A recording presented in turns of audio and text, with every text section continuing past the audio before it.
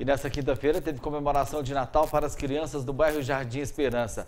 A festa, com muitas brincadeiras e distribuição de presentes, foi promovida pela Associação de Moradores. A criançada se divertiu a valer. As crianças que moram no bairro Jardim Esperança se divertiram muito nesta quinta-feira. A Associação dos Moradores realizou uma festinha de Natal com direito a presentes, brincadeiras, cama elástica, pipoca e algodão doce. Desde a primeira vez a gente não conseguiu parar mais. E aí já é o sétimo ano, é, o pessoal ajuda, a amiga ajuda, os comerciantes ajudam, todo mundo contribui para fazer a alegria da criançada aqui no bairro.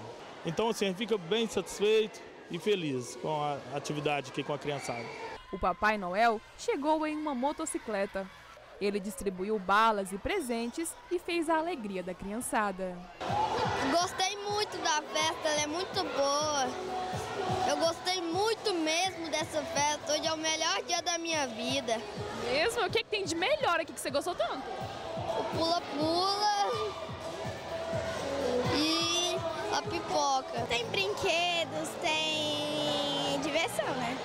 Como que tá sendo o Natal esse ano? Esse é mais um motivo para comemorar, né? É. Achei mais pula-pula por causa que é muito bom brincar nele. O algodão doce. O Papai Noel rei deu muitas balas. E você viu que ele veio diferente, ele veio de moto, né? Você achou divertido? Achei. E o que mais tem de legal? Tem pipoca, algodão doce, pula-pula. Aí também é bom. Para pais e responsáveis, o evento é muito importante, pois é através dele que muitas crianças têm um Natal mais feliz. Pela população que nós temos aqui, é uma boa para as crianças, tem muita pessoa carente aqui, não necessita de. Como disse, é um apoio que dá para as crianças, que muitos têm Natal, outros você não tem, já para eles, criança é uma. Como diz, é uma uma incentivação grande para eles que sonham com uma coisa que o pai não dá conta e vem uma idade, é bom, né?